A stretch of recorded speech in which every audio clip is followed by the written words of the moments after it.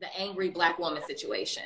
Mm-hmm. So um, I'm a black woman. I know how it feels to be the only black woman in so many spaces. That's just kind of normal for us.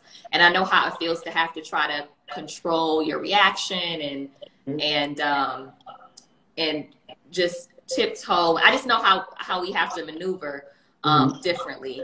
Um, and she didn't. She called you angry. She didn't call you angry black woman, right? She called you no. angry. She said you're an angry woman. Okay, woman.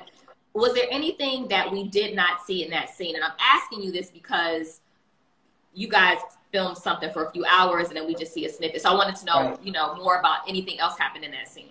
You know, I have to say to the editor's credit, uh, so far it has been a very accurate depiction. They have not cut anything that I would deem essential. So, okay. yes, obviously we do. Uh, uh, that scene, they really showed what needed to be shown. Now, obviously, the conversation where the next episode, we're all sitting in the circle in Ramona's and we're going through why it is unacceptable to call a black woman angry and all of that. A lot was cut from that. Okay. Um, and and some of what was cut was a conversation we had around white fragility because, as Ramona said, she had never heard the term. Most of them had not heard the term, and so I was explaining that is not a slur. That is a an academic term coined right. by a white woman named yes. Robin DiAngelo, addressing um, white hesitation and resistance to having education and dialogue about blackness frankly. Right. Um, so you know, it was it was much more productive than the edit show because we talked for longer. Right. I was I was a little it was a little interesting to me that Luann was very offended that she thought you implied that she wasn't educated. Yeah. It was interesting.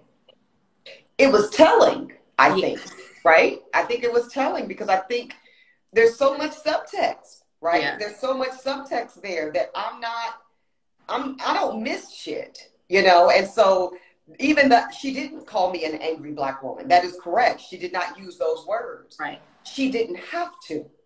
I was left with no other conclusion that there's a correlation between me as a black woman and you describing me as angry. And I have to look no further than the discrepancy yeah. of which you calling me angry and Leah cussed y'all out, called y'all hoes, and ran the hell out of here. Ramona two seconds ago, before I even, you know, said anything, standing up, beating on the table. I don't like that. Nobody's angry. Yeah. And I mean, so so we know it's about that. Right. Um, and and then with the um, oh oh the education, the subtext there to me is there is a presumption as to the hierarchy as to who holds the, the keys to certain um, socio uh, uh, uh, currencies beauty, yeah. education, wealth, desirability of men. Like, let's talk about it. Yeah. And when there is a standard that says those things exclusively belong or primarily belong to white women and white people, I'm I'm gonna blow it up.